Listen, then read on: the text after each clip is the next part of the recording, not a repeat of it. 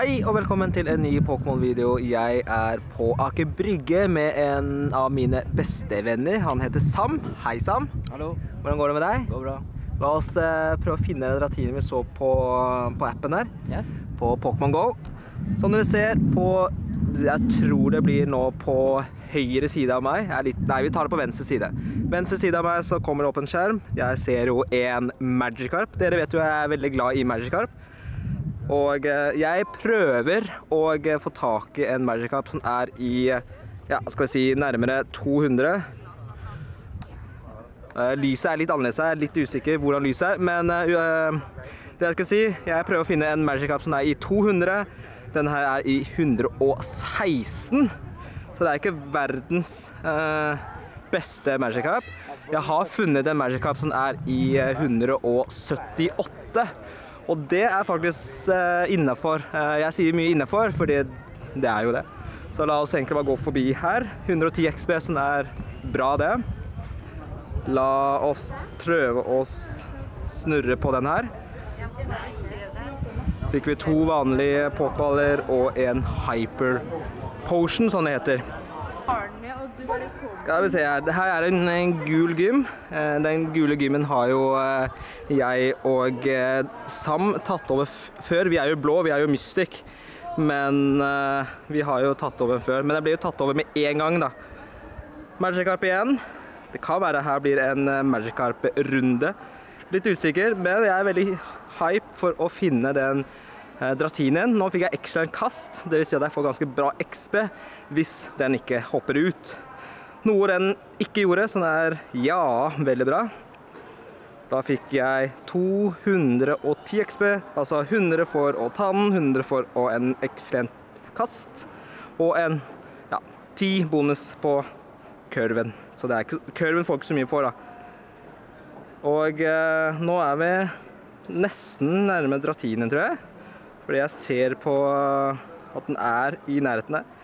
Jeg tipper at denne Dratinen her er eh, over en bro, sånn den går fra Tjuvholmen til Aker Brygge. Jeg er litt usikker, for du ser her, det er en Goldin, Dratini, Magikarp, Psyduck, Subat, Gasly og en Drowsy. Og som mange vet, så er det ingen som liker Subat. Jeg eh, fikk en 143 Magikarp. Det er eh, bra, det. Bomma så klart på kastet. Eh, Jeg ser litt, det er vanskelig å se her. Der fikk vi en eh, nice kast. Nå får jeg solen rett inn i linsa, noe som ikke er så veldig bra. Men den hopper ut. Skal vi prøve å kaste en helt vanlig kast. Den skal være nå på forhåpentligvis i nærheten nå. Den var ikke der jeg trodde den skulle være. Men eh, vi får bare gå, og så ser vi om vi finner den. Jeg har mista den. Nei, den er gått lenger unna meg. Og eh, litt usikker. Kan prøve å eh, gå litt rundt og lete etter den. Skal vi se, den ligger på sisteplass på min liste. Eh, la oss gå litt bortover. Ja, da har vi kommet litt nærmere Aker Brygge. Det spåner jo opp en Magikarp. Får jeg lov å trykke på den? Det er noe annet. Jeg får GPS not found. Men nå fikk jeg vennlig trykka på den. Og denne her var jo i 76.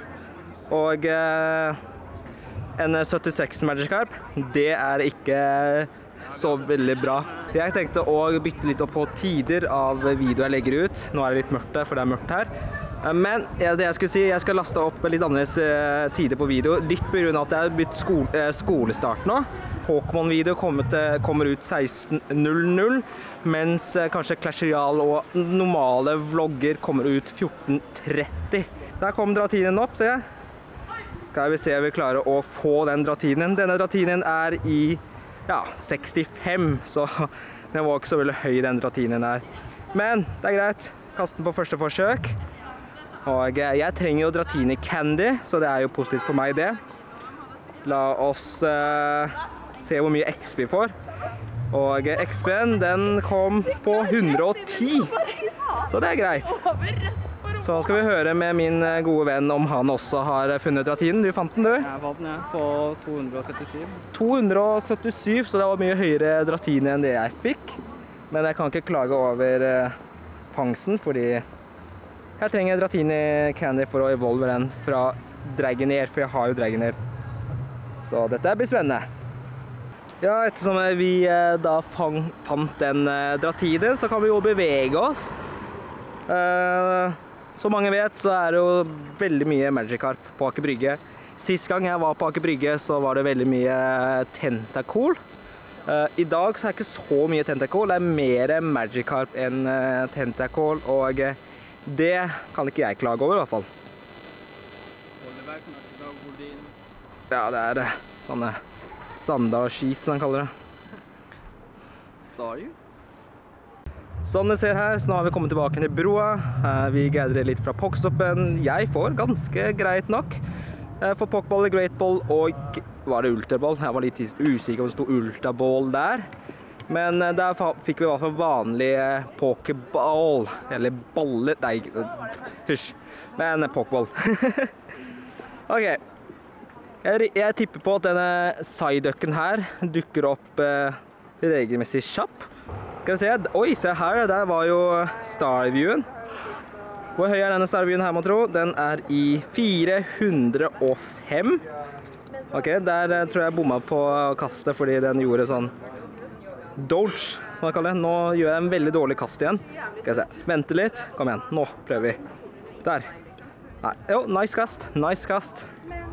Så får jeg 10 XP for det, da. Det, er, det, er, det funker.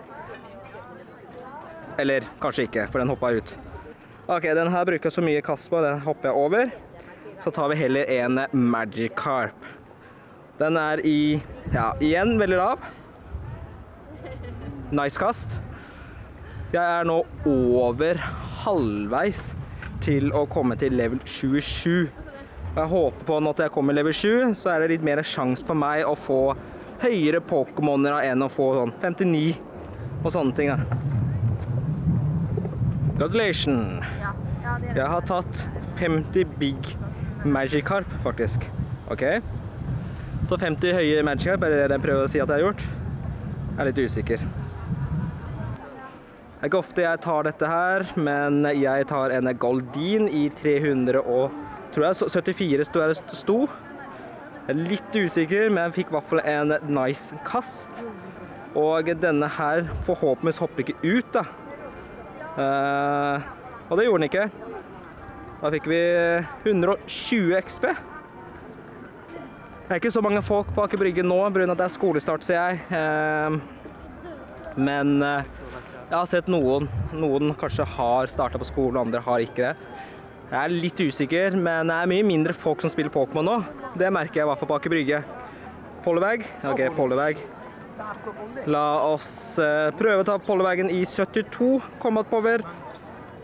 En eh, great kast. Enten så har jeg flaks, eller så treffer jeg bare riktig. Jeg aner ikke. Jeg, går mer på at det er flaks, da. Da fikk man eh, 160 XP. Vi kan ta og gedre denne pokstoppet her, fordi jeg trenger pokballer, men nå fikk jeg ikke noe, da. Så jo, der. En, to, tre, fire tror jeg det var.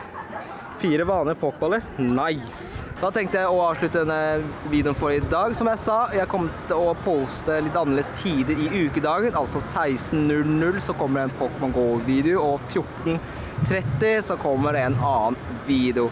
Jeg håper du likte videoen her. Hvis du gjorde det, ta og like videoen eller hashtag tavle opp, så jeg pleier å si. Kommenter nede i kommentarfeltet hvis det er du lurer på, eller om du har fått noen kule Pokémoner. Og har du ikke abonnert, så er det bare å gjøre det, fordi da kan du bli en del av Linselyset. Så snakkes vi til en ny video. Ha det bra. Pop, pop.